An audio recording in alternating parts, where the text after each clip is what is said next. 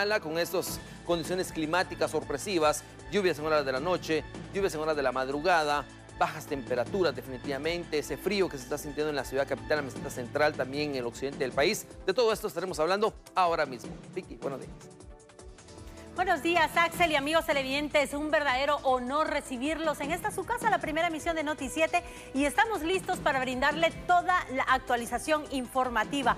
Más adelante también estará con. Hablemos específicamente del Instituto Guatemalteco de Migración, que amplió el horario de atención para las personas para la emisión de pasaportes y se encuentra realizando la extensión de vigencia por un año como medida para reducir de esta manera específicamente la demanda.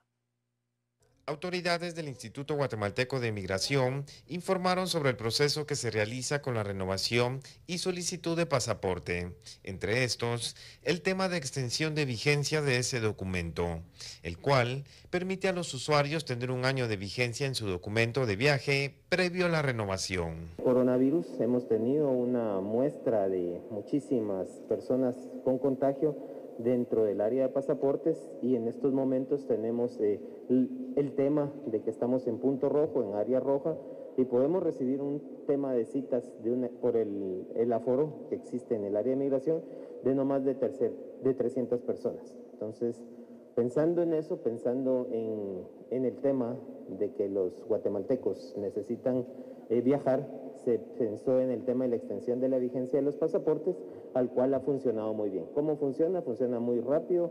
Lo que quiere el Instituto Guatemalteco de Migración es tener la menor cantidad de tiempo a los guatemaltecos en una lista de espera, en una lista de contagio. Inmediatamente podemos tomar los datos por medio de los biométricos y esa misma hoja la imprimimos y de una vez eh, podemos entregar el sticker. Esa es una el titular de migración confirmó que se trabaja en el área de emisión de pasaportes con cita previa, pero con algunas excepciones. Las colas, gracias a Dios, ya no, ya no hay. Las citas están programadas, están caminando muy bien y los aforos del el tema de la actualización del documento de viajes está casi perfecto. Así que eh, tenemos una reducción de tiempo de espera para el trámite de pasaporte y la otra muy buena noticia es que eh, estamos atendiendo los sábados también. Eh, es otra de los nuevos cambios que se tomaron inmediatamente. Estamos atendiendo los sábados de 8 a 12 horas para poder dar esa extensión de vigencia de pasaportes. La idea del Instituto Guatemalteco de Migración es que eh, si usted no tiene un viaje programado, aplique a la cita, pero si le sale un viaje, si le sale eh, que tiene que salir urgentemente, podemos aplicar a la extensión de, visas y con eso eh, nos cubrimos todos. Gracias a Dios, eh, lo que buscamos y funcionó es que el aforo, que ustedes lo habían visto antes, que teníamos muchísimas colas, gracias a Dios, poco a poco se han ido reduciendo hasta... Otra de las acciones implementadas por el Instituto Guatemalteco de Migración fue la ampliación del horario de atención al público para los días sábados de 8 a 12 del mediodía en las sedes de la zona 4 de la ciudad de Guatemala, Quexaltenango y Chiquim. Prepara para recibir 400 mil dosis de la vacuna Sputnik este día. Este martes arribarán 400 mil dosis del primer componente de la vacuna rusa contra COVID-19 Sputnik V el Ministerio de Salud, además de anunciar la llegada de este componente, también informó sobre la disponibilidad de estas vacunas. Del primer componente tenemos 19.041 del primer componente y del segundo componente 1.840. El día de mañana hará un ingreso de 400.000 dosis de primer ah, componente. Por el momento tengo entendido que no hay déficit porque los 58.160 que se le entregó a Guatemala Central no han sido totalmente consumidos. Y a partir del 15 de agosto se empezaban los 90 días y a partir de ahí se empezaba a administrar la segunda dosis. Estas, 60 uh, mil dosis que teníamos para el segundo componente se finalizan hasta la segunda semana de septiembre. Diana Sierra, coordinadora del Programa Nacional de Inmunización del Ministerio de Salud, señaló que en el área nacional de biológicos aún cuentan con 1.800 dosis del segundo componente, pero más de 32 mil están distribuidas en las áreas de salud para ser aplicadas, por lo que la disponibilidad de las segundas dosis es de 34 mil vacunas. Toque de queda y otras situaciones más que encerraban el estado de Calama.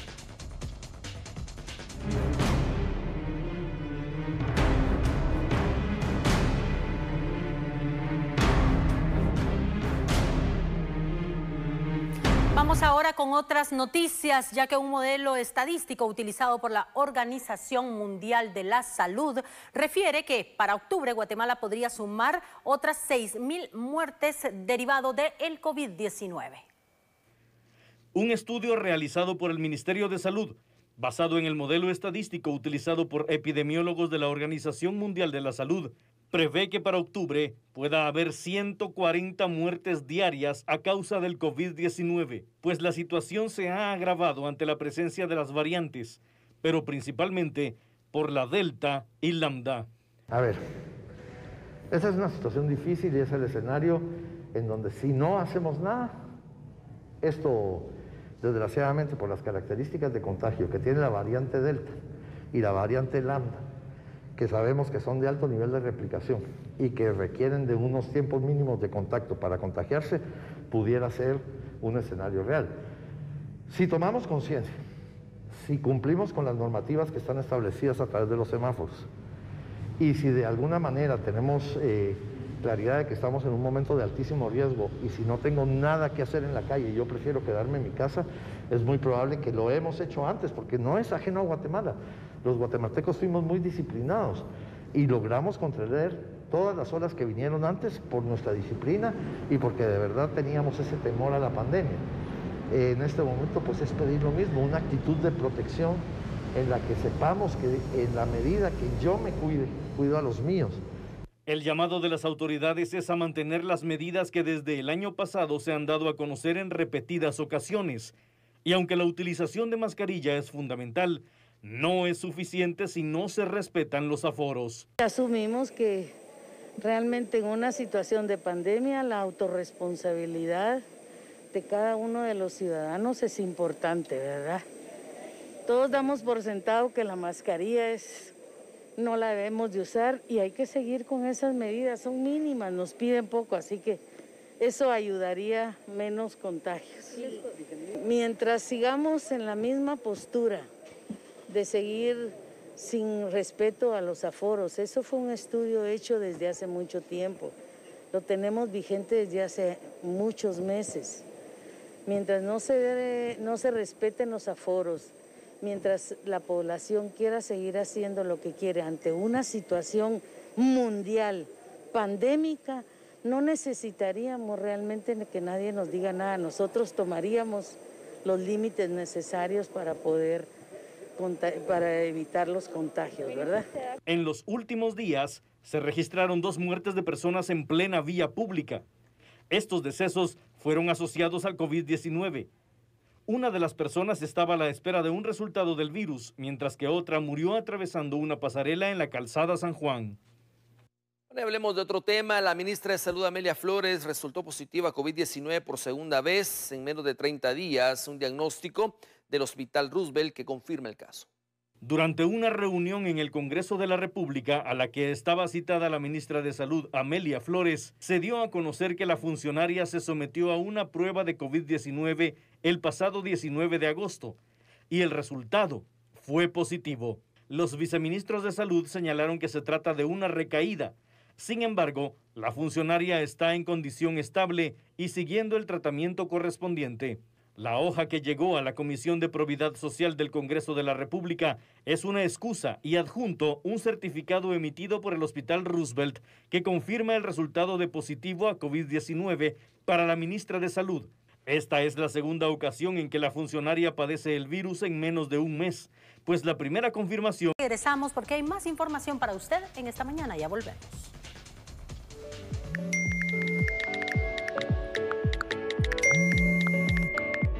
El 55 34 80 61 también es una línea a la cual tú puedes enviar tus denuncias. Te quiero invitar a que nos envíes fotografías o videos de esa situación que se genera donde tú te encuentres. Recuerda, 55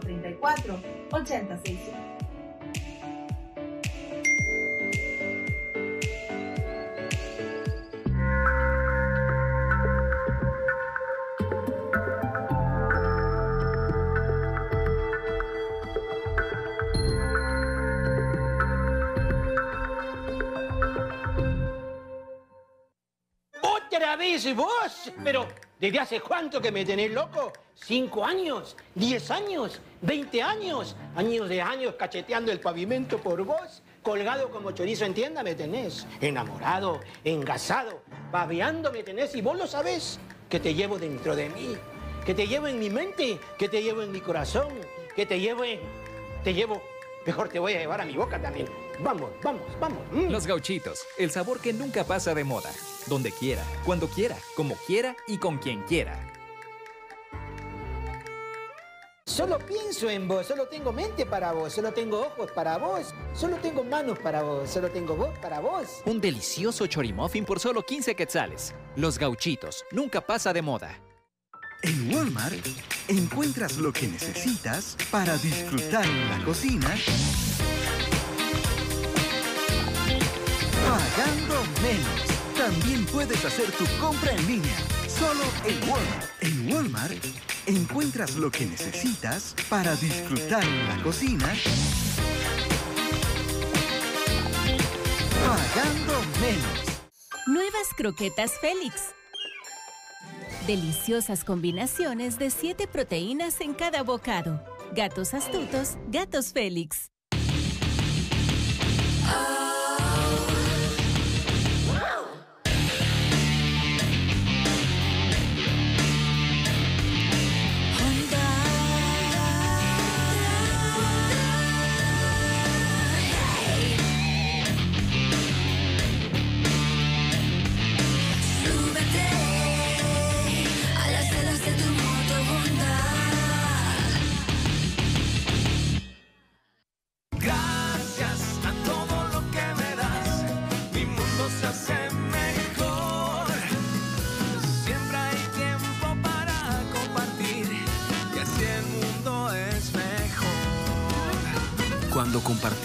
Hacemos un mundo mejor. Big Cola, comparte en grande.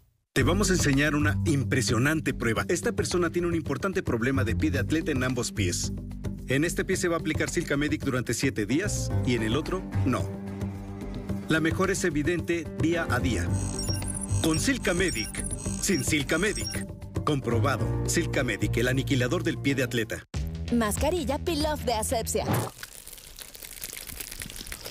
Sí, arranca los puntos negros. ¿Rápido? Asepsia. Este martes en ¿Qué le pasa a mi familia? Ay, hijo, perdón por la tardanza. ¿Pero qué les pasó? Una entrada de película. Hoy será el encuentro. Esperen mis indicaciones. Mariano nos contó que usted enviudó hace años. Pero la historia dará un giro inesperado. Mi boda con Carlos Iturbide va a ser en dos semanas. ¿Sabías que iba a decir semejante barbaridad? Entre la espada y la pared. ¿Qué le pasa a mi familia? Martes 15 horas por Televisión. Bueno, tenemos información, una actualización informativa desde Jalapa. Específicamente agradecemos a Antonio Marroquín habernos trasladado esta información y se la vamos a conocer en este momento. Un hombre es asesinado en el interior de su vivienda. En horas de la noche este pasado lunes se reportó un ataque armado en el caserío El Duraznal, aldea Sachico, de la montaña Santa María Chalapán. Esto sucede cuando sujetos desconocidos ingresaron a la vivienda del joven Donald Eduardo López Jiménez, de 21 años. Sin mediar palabra, le dispararon en múltiples ocasiones hasta provocarle la muerte. Según versiones de familiares, desconocen cómo se originó este ataque, ya que solo se escucharon disparos en el interior de la vivienda. Así también manifestaron que el hoy fallecido no tenía enemigos. Cabe resaltar que aproximadamente hace un mes también se reportó un ataque armado en el interior de una vivienda en el mismo caserío en donde se reportó hoy este hecho de violencia. Ahora solo queda esperar cuál será la reacción de las autoridades, ya que la violencia se está incrementando nuevamente en la montaña Santa María Chalapán.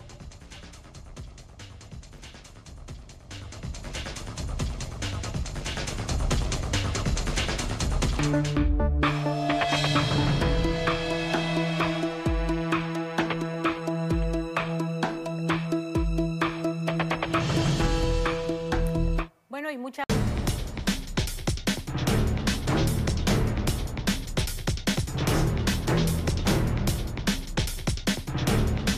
como le indicábamos, las condiciones climáticas, las fuertes lluvias, la saturación de los suelos, la humedad está provocando de alguna manera deslaves en diferentes puntos del país. Nos vamos a ubicar específicamente en las Verapaces, en la aldea Espacay, Tucurú.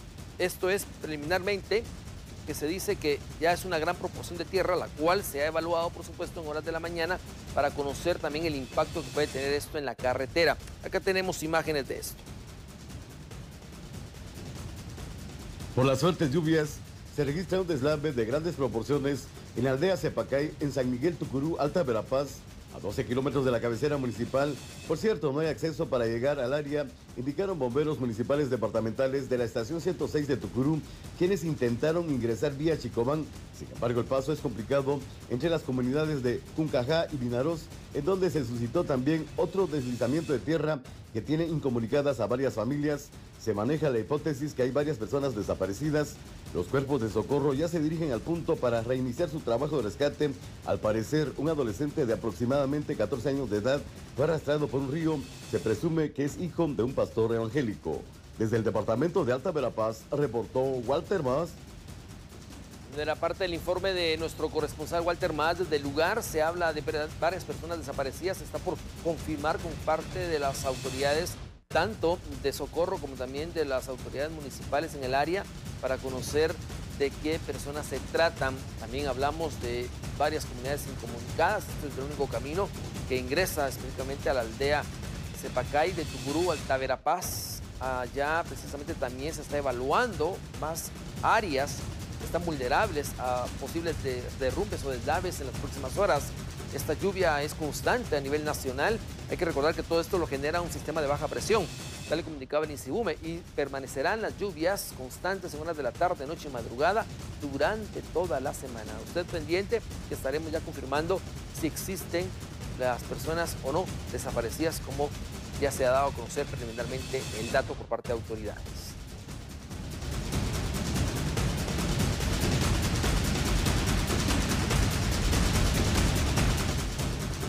Vamos ahora con otras noticias, ya que el puesto de vacunación instalado en la Plaza de la Constitución se ha informado que este pues ya empezará a funcionar en, en modalidad vehicular. Así es que mucha atención con esta nota. Ya se tiene toda una planificación estratégica para implementar en lo que es aquí alrededor de la, de la Plaza de la Constitución o más específicamente frente al Palacio Nacional se tiene contemplado ya el inicio de lo que es la vacunación vehicular. Ya tenemos eh, avances con EMETRA, SAAS eh, y la Policía Nacional Civil, que va a aportar todo su esfuerzo y todas sus capacidades para lo más pronto posible y tentativamente este día miércoles ya poder dar inicio a lo que es la vacunación vehicular. Doctor, en el tema de los posibles cierres vehiculares, ¿qué calle sería la que se estaría cerrando y pues cómo se trabaja esa logística para evitar el colapso de, Sí, ya, ya hay varias alternativas, tenemos unas eh, dos o tres opciones, las cuales son previamente coordinadas con EMETRA para eh, no, no obstaculizar algunas calles, algunas rutas, algunas vías. También ya se tiene toda esa logística para, porque lo que se pretende es, eh, es facilitar facilitar que haya un, flujo vehicular, tanto de los vehículos que circulan eh, normalmente en el centro de la ciudad, como los vehículos que harían una, una cola exclusiva para poder ingresar al área de, vacunación vehicular. El ingreso por la octava avenida, eh, luego subirían por la sexta calle, pasan enfrente del Palacio Nacional. Bueno, continuamos con más información. Una inundación, una fuerte tormenta ayer en Escuintla generó un bloqueo de una de las principales rutas de esta área, específicamente del sur. Un tramo de aproximadamente 100 metros de largo quedó completamente inundado. Esto en la carretera que va hacia el municipio de Guanagazapa, Escuintla. Esta correntada bajó de un río cercano debido a las fuertes lluvias.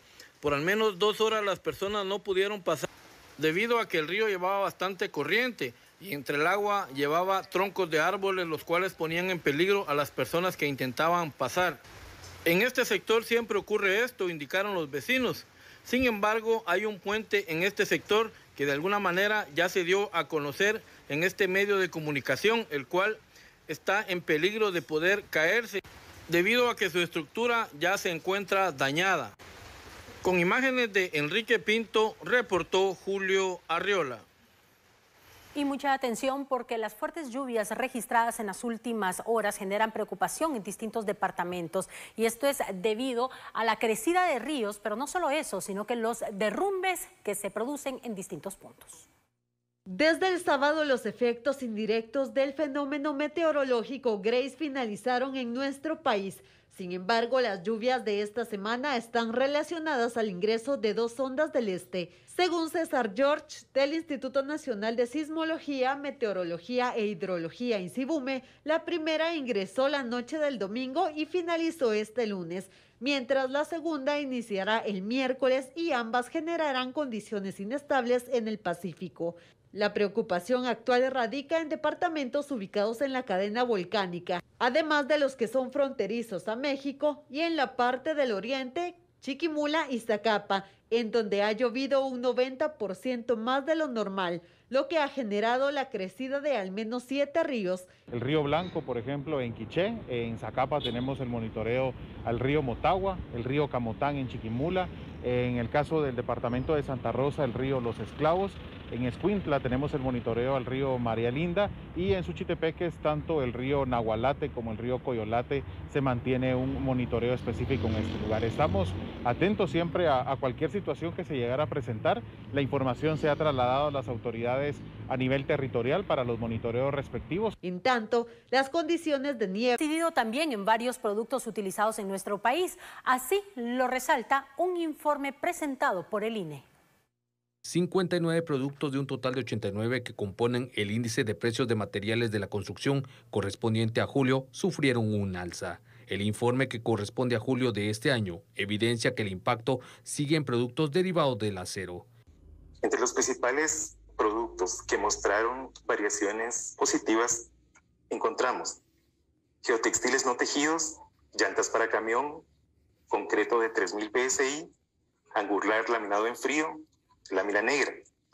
Entre los principales que mostraron una variación negativa encontramos el vidrio claro, el flexitubo plástico, perfil de aluminio novizado, aceite lubricante para motor y la grama sintética. Sí, uno de los motivos es eh, la demanda internacional. Eh, como sabemos, por la pandemia eh, se escasearon algunos productos, lo que ocasionó algunas subidas de precio. También incluye los fletes, que, que fue otro factor determinante en la subida de los precios. Como decíamos anteriormente, eh, Block, Arena y estos productos han mantenido una estabilidad a pesar de, de la pandemia, ¿verdad? Como decíamos, eh, los productos como el hierro sí han sufrido los derivados del acero, sí sufrieron un, un alza considerable, aunque actualmente ya están mostrando cierto tipo de estabilidad. Por aparte, 16 productos mostraron una baja, 14 no variaron. En el caso de los precios de ladrillos, cemento, block, arena, piedrín. Nos está, eh, nos está llegando la siguiente información que está ocurriendo a raíz de la crecida de un río. Esto se registra en la aldea pues Telemán, en Panzós, Alta Verapaz. Asimismo, pues nosotros tenemos toda la información porque en Telemán, Panzós, Alta Verapaz nos indican que en la notificación Chivich es donde se está reportando a raíz de la crecida del río Polochic toda esta situación. Ha crecido el río que inundó pues, algunos lugares, algunos terrenos, plantaciones, y esto es lo que se está reportando en este lugar. Incluso tenemos eh, conocimiento que también algunas viviendas han salido bastante afectadas. Los videos nos los proporcionan a través de WhatsApp. Agradecemos porque esto nos sirve bastante, sobre todo para reportarlo a las mismas autoridades, en este caso autoridades locales o bien la Coordinadora Nacional para la Reducción de Desastres con Red. Así que así está en estos momentos. Nos indican que en la madrugada, a eso de la una con 20 minutos, eh, pues se registró todo esto. Eh, llovió tan fuerte que inundó pues algunas, algunas viviendas eh, y también algunas plantaciones. Así quedó, así está en esta mañana, así amaneció en Telemán, en Panzós, Alta Verapaz, específicamente les estamos hablando de la notificación Chivich. Es lo que nos están reportando y es lo que agradecemos nosotros porque se ha reportado la crecida del río en este sector y pues ha inundado, ha dejado pues eh, estragos en toda esta área. También le pedimos a, la población pues a mantener la calma, estar a la espera también de lo que puedan decir las, las autoridades eh, y sobre todo no cruzarse los ríos. Esto es muy importante, no cruzarse o atravesarse eh, los ríos porque en algunos casos hay varios que ya están crecidos. Tenemos incluso eh, videos, un video, hay un video de la madrugada, si no, si no me equivoco, en donde se podía observar cómo pues, las personas estaban bastante preocupadas porque eh, habían perdido algunas pertenencias. Eh, si no, pues más adelante nosotros se los vamos a estar eh, trasladando. Aquí tenemos el video. Este es el video que les, les indicaba. Las personas eh, pues tomaban el video en horas de la madrugada a la una de la mañana. Se registra eh, esta, eh, esta tragedia, podemos decir. Acá vemos cómo, cómo pues, eh, nos envían y por la rapidez e inmediatez nosotros se lo estamos trasladando en estos momentos, como incluso por la inmediatez, como le indicamos, vamos a ir trasladando porque incluso varios niños, es preocupante porque varios niños salieron corriendo y así como adultos y, y personas adultas mayores salieron corriendo de sus, de sus viviendas y pues lo lamentamos. Así que por eso pasamos rápido la información porque nos acaban de trasladar este video y nosotros por respeto también a los mismos eh, televidentes y a las mismas personas tenemos que eh, pasar estas imágenes, pero eh, tratando de poner algún tipo de, de- seguridad en el mismo video para, o, un poquito la imagen borrosa para que no se pueda observar directamente pues, a estas personas que están saliendo corriendo de sus hogares. Así que les hacemos eh, pues esta aclaración tomando en cuenta que nos vienen, vienen los videos de inmediato y nosotros lo trasladamos así también de inmediato, pero tratamos de hacer las correcciones para evitar sobre todo exponer a las mismas personas. Así que, así que estuvimos adelantando también este video de la madrugada ya pasamos a estos donde ya nos lo envían, en donde pues eh, vemos cómo eh, plantaciones quedaron de esta manera destruidas prácticamente. Este es el informe que tenemos para usted, amigo televidente. Es información que nos llega desde la desde Telemán, Panzós, Alta Verapaz, específicamente de la notificación. cada mañana. Vamos ahora con otras noticias, ya que la Comisión Pesquisidora aprobó el calendario de reuniones previsto para analizar la solicitud de antejuicio contra el magistrado José Francisco de Matavela. La comisión pesquisidora que analizará una nueva solicitud de antejuicio en contra del magistrado de la Corte de Constitucionalidad Francisco de Matavela. Esta vez los delitos imputados son por incumplimiento de deberes, retardo de justicia y denegación de justicia. Sobre ello realizarán el análisis. Esta calendarización inicia el día de hoy y termina el 25 de octubre. En ese entonces esperamos haber ya escuchado a, los interponentes del antejuicio, así como a el, el magistrado que está siendo encausado, que es el magistrado de Matavela.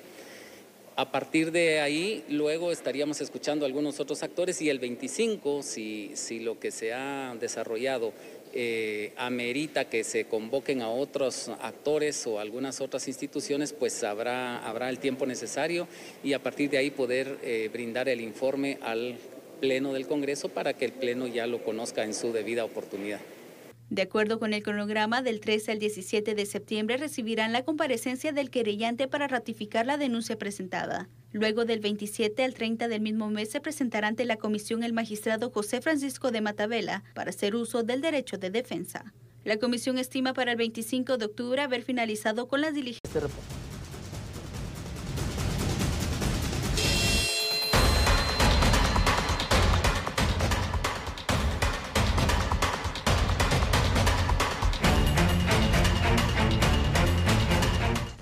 Tenemos más información que tiene que ver específicamente con la migración y es que según también las eh, instituciones que velan por esto, eh, se tiene previsto que por la temporada de lluvia se incremente también el número de niños migrantes según la UNICEF que buscan un sueño americano. Adelante, Rosmé.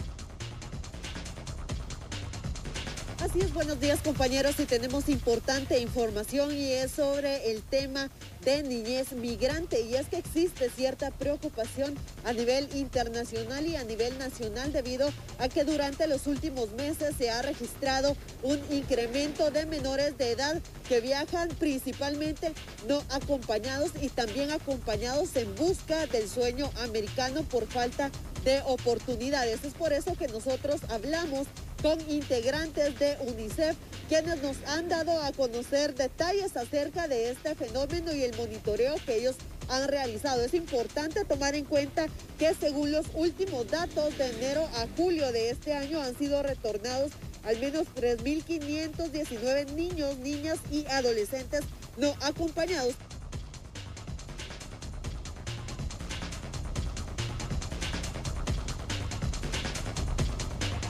De la parte de la información que nos trasladaba Rosmer, estaremos ampliándolo en breves momentos. Se indicaba específicamente datos eh, preliminares en relación a esto y es que las lluvias también han provocado de alguna manera, hay que recordar el año pasado con Yeta y Iota y toda esta situación ahora de la, de la tormenta también que ha generado alguna situación de pobreza y situaciones complicadas en sus comunidades hacen y empujan a que la niñez empiece a buscar, o la adolescencia en este caso, empieza a buscar el camino hacia los Estados Unidos de manera ilegal. Empieza a incrementarse ese número de niños que viajan solos, no acompañados precisamente, y son los riesgos y peligros que lleva el camino del migrante, según ya datos de la UNICEF. Estaremos... Que la Secretaría de Bienestar Social de la Presidencia implementa acciones para fortalecer la atención de los menores en conflictos con la ley penal y que permanecen bajo el resguardo del el Estado.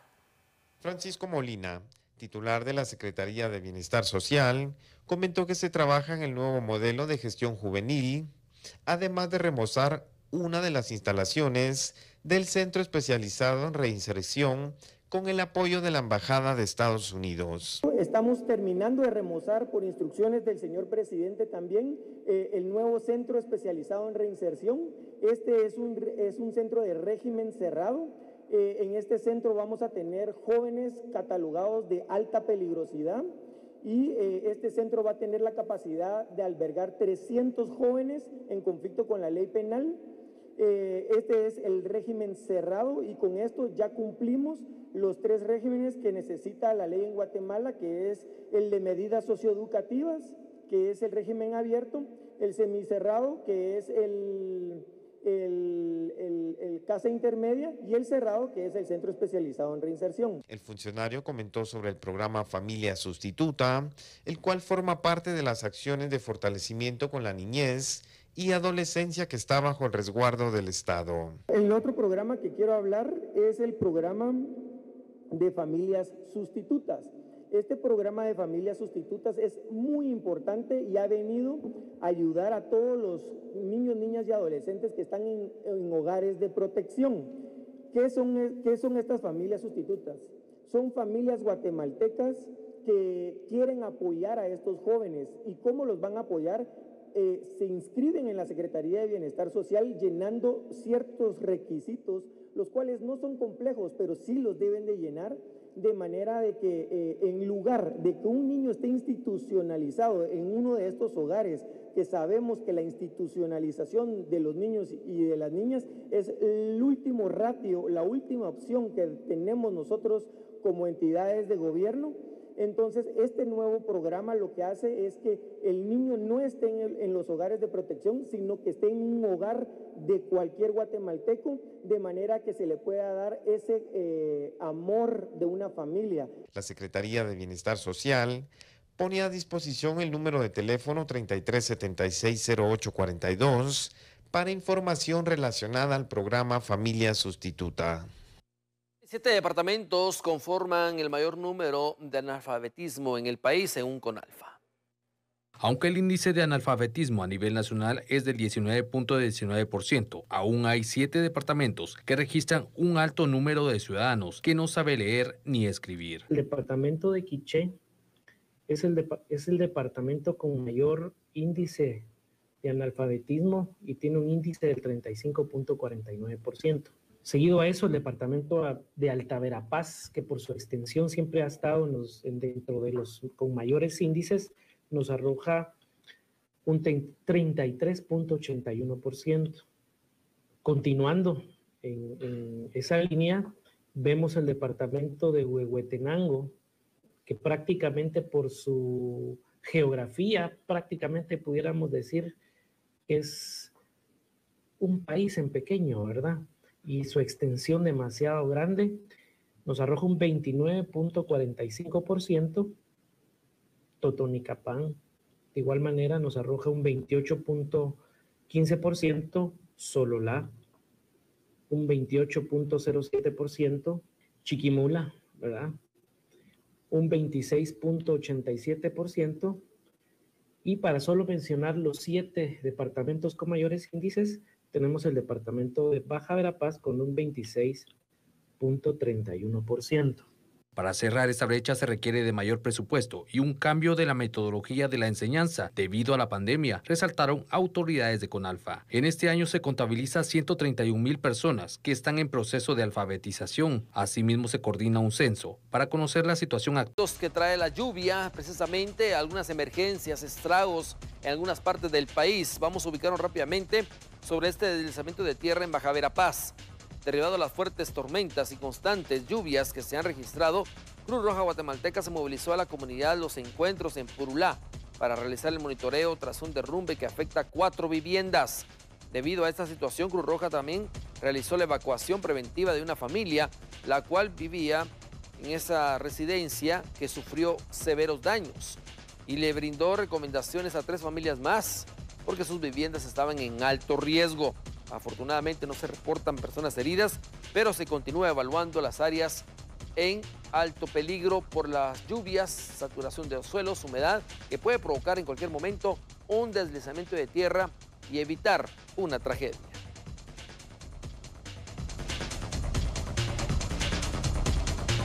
Sobre el estado de calamidad que quedó sin vigencia luego de la decisión de los diputados. Bueno, ahora nos vamos a enfocar directamente a qué dice la Policía Nacional Civil, quienes enfocarán sus operativos en la seguridad ciudadana y por supuesto la ley, en este caso estamos hablando de la ley seca. Adelante. Buenos días, compañero, buenos días, amigos televidentes. Información que tenemos y es que a raíz que el Congreso de la República improbó el estado de calamidad, queda sin efecto varias restricciones como el toque de queda.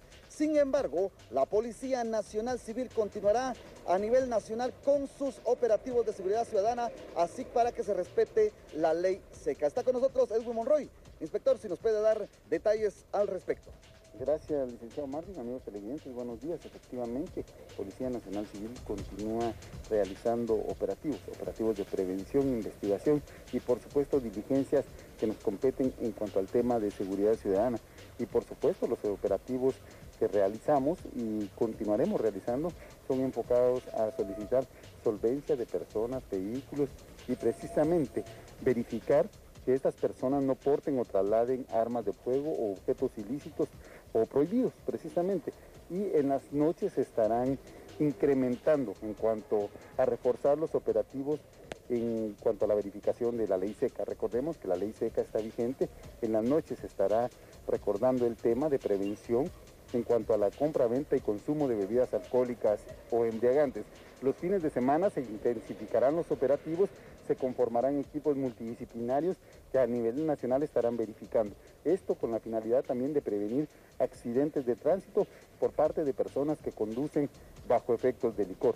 El horario establecido para la venta, compra y consumo de bebidas alcohólicas es de las 21 horas hasta las 21 horas para las 5 de la mañana del día siguiente.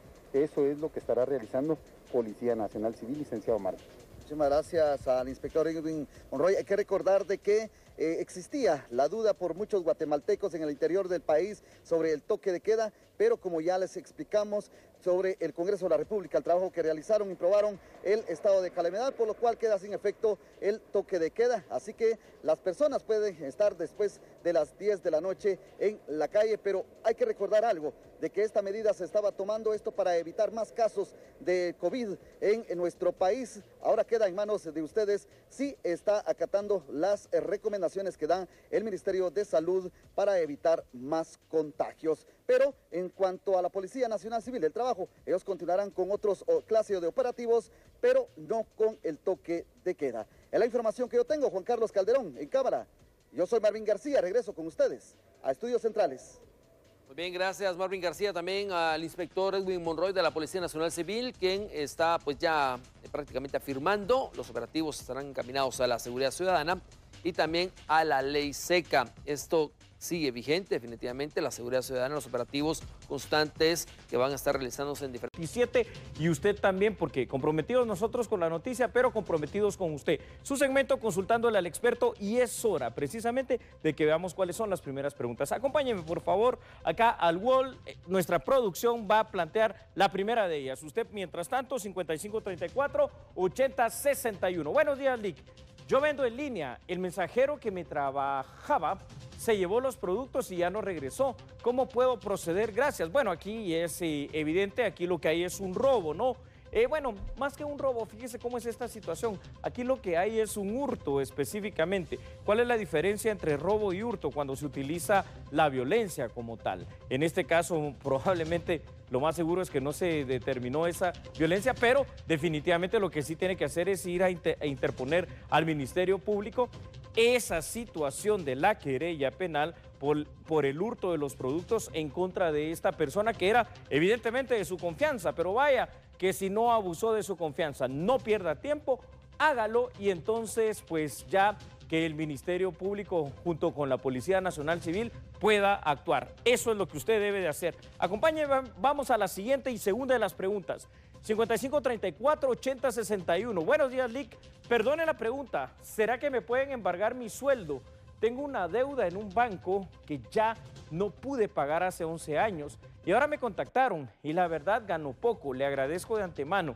A ver, ¿cómo funciona esta situación? Los bancos, después de cierto tiempo, no muy grande, lo que hacen es eh, vender literalmente las cuentas que son incobrables, las que ellos ya no pudieron, obviamente, que hacer que les pagaran los clientes. Y esto lo hacen con casas de cobranza, es obvio, no son bufetes jurídicos de abogados. En teoría, en nuestro Código Civil está el tema de la prescripción por tiempo hasta en el tema de las deudas, cinco años.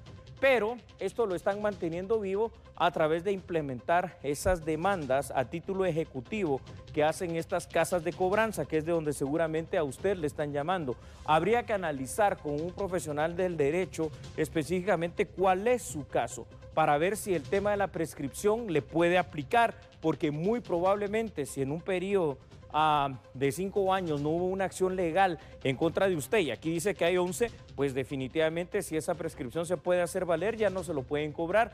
De lo contrario, yo creo que aquí lo más conveniente, fíjese, va a ser que el proceso se siga en esa vía civil, es decir, que el juez tome las medidas que tenga que tomar porque va a terminar pagando menos que lo que va a pagar en estas dichosas casas de cobranza que abusan muchas veces de los guatemaltecos. 5534 8061. La siguiente pregunta dice, buenos días licenciado, mi pregunta es, mis hijas están con la abuela, hace ya muchos años que vamos a audiencias, pero por lo que veo es por gusto, porque las niñas no quieren estar conmigo. ¿Qué pasa si ya no asisto a la audiencia? Bueno, eh, ya no nos dice de alguna manera si es el papá o la mamá. Asumo por el tema que es, es que mm, está hablando el papá de las niñas.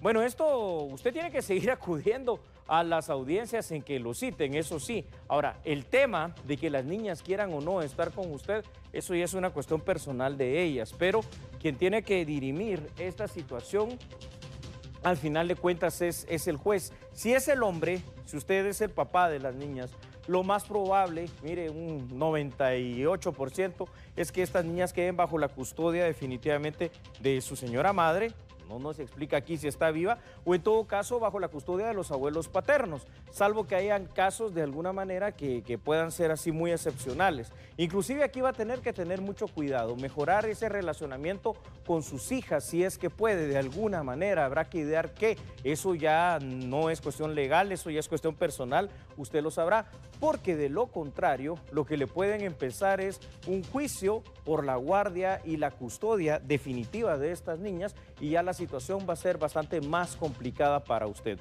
Habría que analizar también cuáles son las aristas particulares de su caso. 5534-8061. Buen día, estoy casada hace 23 años. Mi esposo me fue infiel y se fue a vivir con su amante hace casi dos meses, pero sigue aportando económicamente. Mis hijos ya son mayores de edad. Tengo que hacer reconocimiento de algún juez que él ya no vive en casa eh, no, en este caso de un juez no, pero yo diría que sí lo que puede hacer, por ejemplo, es tal vez con su abogado de confianza el tema de el memorial correspondiente, el acta, ¿verdad? Donde se hace constar que hay un abandono de hogar. Pero ese abandono de hogar, fíjese que es bien extraño porque viene acompañado de una extraordinaria responsabilidad que usted misma reconoce de parte de quien todavía en lo legal es su esposo. Porque aunque sus hijos son mayores de edad, él sigue aportando económicamente. Así que de alguna manera no veo en qué le esté afectando más que en el tema sentimental. Ahora, por supuesto, aquí si ya nos vamos a lo estrictamente legal, usted sabe que ya no hay una obligación legal, al menos legal, fuera de lo moral y fuera de lo que es el papá y siempre va a ser lo de sus hijos o de sus hijas, de que vaya a estar pasando algún tipo de pensión por el simple hecho de que ya cumplieron la mayoría de edad. Así que el tema personal de que ustedes estén separados, que lamentable después de 23 años, pero sí parece ser, por lo que usted misma dice, un papá y un hombre responsable como pocos. Vamos a la siguiente pregunta, 5534-8061. Buenos días, le saluda Mauricio. Hace más de un año que le doy pensión alimenticia a la madre de mi hija, pero hace seis meses no he podido dar, me, he podido dar cuenta de que mi hija no tiene ningún cambio con el dinero que le mando a la mamá. Según me han dicho que ella se lo gasta en cosas personales para ella. ¿Qué puedo hacer? Bueno, difícil, ¿no? Porque la pensión de alimentos ya fue fijada y fue fijada por un juez. Se supone que la pensión de alimentos debe utilizarse precisamente para la habitación, para el estudio, para la medicina, para eh, en sí los alimentos como tal y las necesidades como ropa y otras cosas que puedan tener los menores. Yo lo que les recomiendo en todo caso es que como esto ya lo ventilaron, lo dilucidaron y, y hay fijada una pensión de alimentos por un juez competente, entonces que haga del conocimiento del juez esta situación. Inclusive, aquí fíjese que habrían algunas situaciones que se pueden hacer en los juzgados específicos de menores para que usted pueda poner al tanto al juez de menores de lo que está pasando con su hija, que usted dice que no, no se le está cuidando por parte de la mamá con el dinero que usted manda como corresponde. Ahora, esto hay que probarlo, esto no es solo es un decir. Aquí lo primero que habría que hacer es poder tener las pruebas y las pruebas usted las va a constituir a través de tres o cuatro declaraciones juradas que den fe de lo que usted está diciendo. Recuérdese que esas declaraciones juradas, si las personas dicen mentira, es delito de perjurio, pero también tiene que tener, no sé, fotografías, audios, cuestiones que puedan probar esto para llevar llevarlo a un juez de menores en este caso y ver tres procedimientos allí, inclusive el más grave de ellos que lo acabo de mencionar hace unos minutos, el juicio probablemente para que la otra persona pierda la guardia, la guarda y la custodia de sus hijos, lo cual es bastante difícil porque es la mamá, pero si los está descuidando puede eventualmente darse. 5534 8061. Consultando al experto al dejar un testamento, y quiero que un albacea se encargue de repartir los bienes. ¿El albacea tiene que ser nombrado dentro del testamento? La respuesta inmediata es sí. ¿Y cuánto de vigencia tiene como albacea para repartir esos bienes? Y dentro de los bienes hay vehículos y el albacea permite que uno de los herederos falsifique la firma para apoderarse del mismo, ya que la albacea es nieta del difunto. Wow, esta es una situación complicadísima, ¿no? A ver, la persona que va a ser el albacea, el que de alguna manera se va a encargar de que los bienes, la última disposición, es decir, el testamento de una persona, se reparta como esta persona quiso que fuese entregada al morir, es una responsabilidad bien grande. Puede ser cualquiera, siempre y cuando sea de confianza y esté nombrada. Eso sí, tiene que estar nombrada específicamente como albacea dentro del testamento. Ahora, ¿cuánto tiene de vigencia? Es albacea para, para siempre mientras se termina la repartición de la masa hereditaria. La masa hereditaria puede ser desde dinero, bienes muebles, bienes inmuebles, cualquier otra situación. Ahí entran los vehículos también. Ahora, si usted dice que la albacea permite que falsifiquen firmas, como repito, esto hay que comprobarlo, porque la falsificación de una firma es un delito bastante grave, ¿no? La falsedad, que puede llegar a ser falsedad material o falsedad ideológica, dependiendo de la manera en que se dé. Si a usted le consta de verdad que esta cuestión es así, entonces lo que tiene que hacer en primera instancia, independientemente de la función de albacea de esta persona, que está bien, es nieta del difunto, no hay ningún problema, es interponer la querella, es decir, la denuncia en lo penal ante las autoridades del Ministerio Público, porque se está alterando y esto puede alterar definitivamente el hecho de que la masa hereditaria, incluyendo el vehículo, pueda llegar a manos que no corresponden. Así que eso es lo que hay que hacer. Por favor, bueno, el albacea El albacea es una figura del derecho civil dentro de la parte esta de, los testamentos, en cuanto que el albacea es una persona de confianza de quien está haciendo el testamento y puede ser cualquier persona, no hay ningún problema, siempre y cuando esté en sus capacidades, sea mayor de edad y que se va a encargar de vigilar que la última de las eh, disposiciones, es decir, el testamento, que no lo está haciendo de último momento, pero supone que es la última disposición legal, se cumpla tal y como el que dio el testamento quiere. ¿Quién puede ser? Puede ser, como le repito, cualquier persona que sea de confianza de, eh, en este caso, la persona que falleció. ¿Puede ser un familiar? Sí, en la mayoría de los casos es un familiar, por si esa es la duda. 55 34 80 61. No tengan pena, aquí estamos para servirles, caballeros y señoritas. Buenos días, Lick. Soy Isabel. Fíjese que compré un carro y no me dieron el título de propiedad y lo quiero pasar a mi nombre. ¿Qué puedo hacer? Bueno, primero las preguntas las escribimos tal y como usted ahí las manda, solo las proyectamos. No, hombre, lo que puede hacer es ir a hablar inmediatamente con la persona esta que le vendió el carro. ¿Cómo le va a vender un carro que la primera forma de poder eh, reconocer la legalidad de la compra de este bien eh, mueble, en todo caso el carro se puede desplazar, eh, es suya a través del título de propiedad. El título de propiedad endosado del dueño anterior hacia usted le va a dar pie y la autorización a usted para que vaya ante las autoridades de la SAT a que usted haga el traspaso definitivo a su nombre Así que la verdad que es una muy interesante, muy linda pregunta, pero eh, la verdad que puede pasar y seguramente pasa en muchos casos. No, vaya con esa persona, le tiene que entregar inmediatamente ese título de propiedad. Si no, disculpe, eh, yo creo que usted, así, Isabel, Chabelita, usted lo que compró fue aire. En cualquier momento se lo pueden quitar,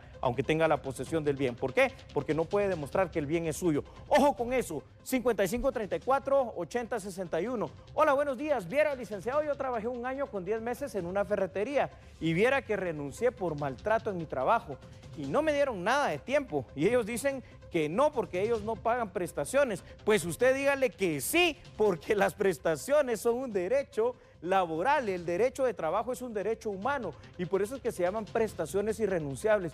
No importa lo que diga la gente, la empresa, lo que sea, el, el hecho es de que si tiene derecho a que se le pague después de cualquier tiempo de trabajo lo que le corresponde a usted, en primero en prestaciones irrenunciables y obviamente en el tema de su indemnización.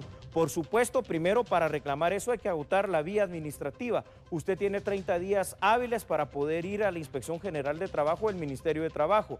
Si en la audiencia de conciliación no se resuelve nada, pues entonces ya pasa a la vía eh, judicial, a los tribunales de trabajo. Y si se resuelve, pues entonces ya usted puede salir tranquilo con lo que le corresponde. Hágalo, no pierda tiempo. Eso sí, eh, si no lo hace en esos 30 días hábiles, pierde el derecho a su indemnización y si no lo hace en los dos años siguientes al que lo despidieron, pierde derecho a todo, es decir, a las prestaciones irrenunciables. Ahí sí usted la renunció. 55 34 80 61. Vamos con la última pregunta del día de hoy. Buenos días, licenciado. Tengo una pregunta. ¿Qué pasa cuando a una persona le ponen carta negra y que no pueda trabajar en ningún lugar? ¿Qué se puede hacer? Wow, esto es una violación también a los derechos fundamentales. Aquí usted tiene que ir a una institución que le va a poder apoyar y le tiene que apoyar por ley en esta situación. Repito, el artículo número 23 de la Declaración Universal de los Derechos Humanos hace constar que el derecho a trabajo es un derecho humano. El artículo 101 al 117 pero particularmente el artículo 102 de la Constitución hace constar que hay derechos y garantías mínimas de los trabajadores. Vaya y acuda a la Procuraduría de los Derechos Humanos. Ahí ellos tienen que atender esa denuncia y tienen que hacer lo que deban de hacer en lo legal. A eso es parte del quehacer de la PDH como institución pública para que esa situación que mancha su nombre, así es, que quiten esos datos, que los borren de cualquier sistema, se quite, porque no se le puede vedar a nadie un derecho tan sagrado y fundamental como el derecho al trabajo. Pero vaya, vaya, active ahí a la PDH que haga algo bueno, ¿verdad? Que es defender a los trabajadores aquí en Guatemala. Señoras y señores, pues eh, al menos por este martes esto sería todo, pero usted listo ahí, siempre mandando una, dos, diez, veinte veces las preguntas a Noticiete, consultándole al experto. Recuerde que aquí estamos para informarle, para servirle a usted y para estar pendiente de atender todas sus consultas en lo legal. Le digo algo en este momento, claro, usted ya sabe qué le voy a decir, ¿verdad?